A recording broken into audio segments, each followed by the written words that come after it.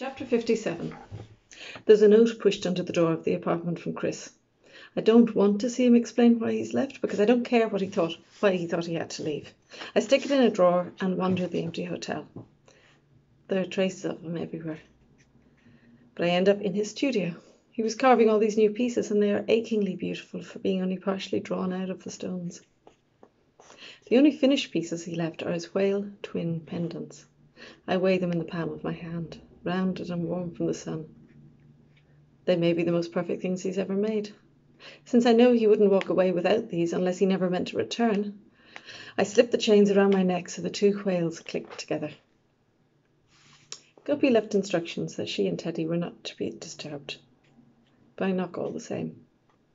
When she answers, I can't tell her that Chris is gone. Because she looks so sad and happy both at once. Is something wrong? she says. No, just I clear my throat and make my voice cheerful. I wanted to see if you needed anything. Next morning, Jeremy finds me killing plates in the kitchen. In this foul mood, I am the fastest kitchen porter in hotel industry, even on a Saturday morning when I'd rather be in bed. The plates I wash dry themselves instantly to avoid coming in contact with my hands a second time. Thought we were going out this morning, Angel, he says. Chris collects stones from the beach so he can carve them. Oh, he says. Right. He makes the most beautiful whales from them, I say. I take off the pendants. He made these. He turns them round in his hand, feeling their weight and perfection. The man has a gift, says Jeremy. Yeah. Angelica.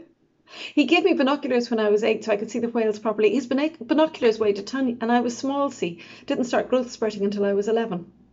I was the same, he says, which was only three years ago. I'm not interested right now in whatever reminiscences he has to offer. Chris has always been really protective of us. He took me fishing, and he doesn't even like fishing.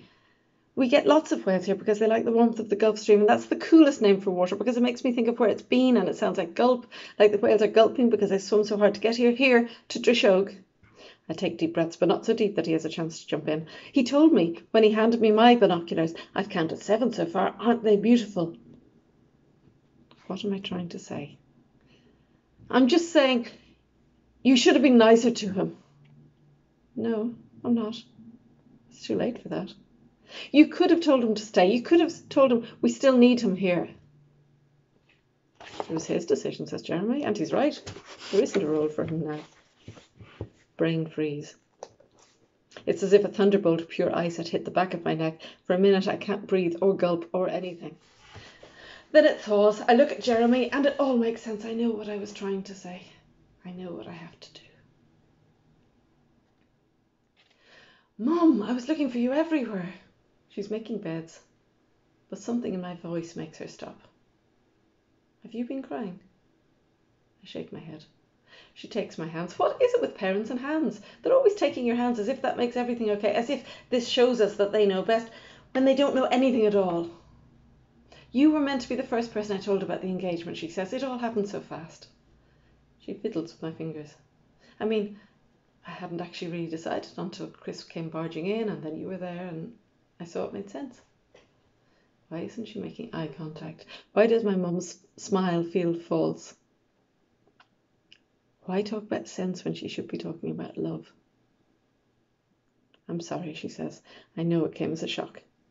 I pull my hands away. Chris has left.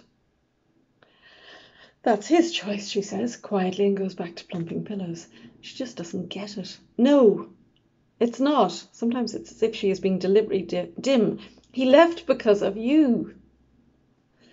Oh, Angelica, she says, I know you're very fond of Chris, but oh, Mum, he loves you. Chris loves you. Insert. Mums don't know how to listen. Oh, they pretend to, but then so do dogs and cats. And seagulls if you have food in your hand. That sounds worse than I meant it to. I'm not saying mums are like cats or dogs or seabirds. They're much more difficult because you expect them to listen. You want them to hear you, but half the time they don't. Chris says it's the difference between listening and hearing. We're all great at the second, but most of us are lousy at the first. Then there's the interrupting with their own problems or question or the solution to the problem you hadn't even finished explaining. So they get it wrong anyway. And sometimes we just want to vent okay? Or talk things over without getting their wisdom in return. In romantic films, me saying this to Mum would be enough. She, as the heroine, would rush out of the hotel, steal a motorbike, find her man on the brink of signing his soul over to the Foreign Legion or the devil, and the two would embrace for life. I must have imagined this a thousand times. Maybe Chris has already broken down by the side of the road, so it wouldn't even take her long to find him. No, says Mum, your father and I. Do you love him? Do you love Jeremy? We have you, she says, and the hotel. He has great ideas about developing. Wrong answer. It's a building, Mum. You can't make choice about who you live with because they like a building. You can't choose who you'll be with on the basis of their relationship to me or because of what you used to feel or because it makes sense. You don't even know him. Not anymore. What's got into you? She says. Does he make your eyes shine? Or your skin? Yeah, does he make your skin glow? Come on, Angelica, think faster, think faster, make her listen to you before it's too late. Does your heart beat faster every time you hear his name? Genius. Mum doesn't seem to be able to answer. So I know I'm right. I take off Chris's pendants. One whale, I say, has MM on the back. Molly Moon. The other has CW for Chris Webber, and they fit together. She doesn't want to take it, but I make her hold it. I wait for Chris's magic to do its work. Which is very sweet, she says, but I've made my decision. We're a family, Angel. You, your dad, and me. She hands the pendants back, but her fingers are shaking. We should have been from the start, and he, we, both recognize that now. Jeremy, Jeremy is not Rick, Mum, I say quietly. He can't be. I have her attention now, her complete and undivided attention. Pretty scary when you have your mum's complete and undivided attention especially when you're about to confess, confess something you know she's going to hate worse than marzipan. What do you mean? she says. I'm by the window, staring out as far to the, uh, staring as far out to sea as I can, hoping the waves will gift me courage.